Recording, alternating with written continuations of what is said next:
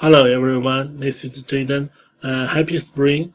Uh, this week I will share some my thoughts about uh, how will I build patterns and address anticipation in my future online courses. Uh, from my perspective, uh, patterns and anticipation are really important for online course. Like it is mentioned in the second article, some, some students begin an online courses online course with fear and anxiety.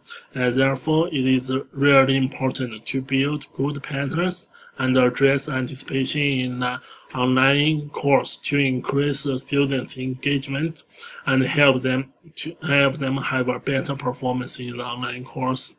Uh, the first principle that I think is important is that we should show up and teach.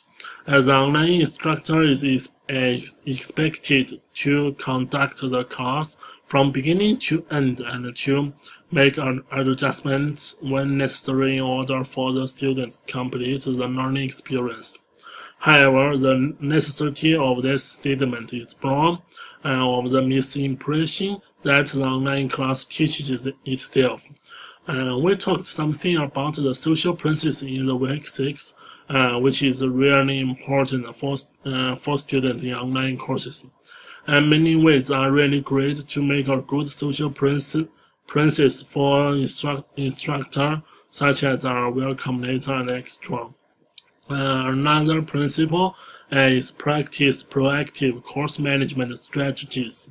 As an online instructor can help create a successful learning experience by practicing proactive course management strategies.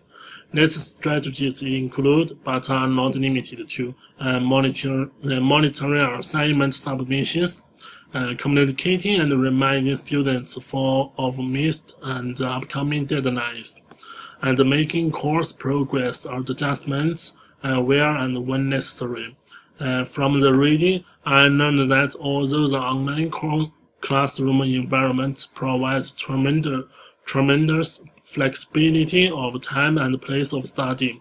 Uh, establishing and communicating a course pace and pattern of work can aid both instructor and students and alleviate confusion uh, of course operation.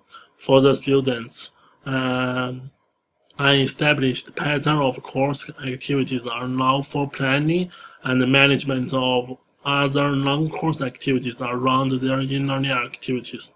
For the instructor, and establishing and communicating a course schedule, schedule and pattern of works serves service to define the boundaries between the online class activities and the, the rest of life.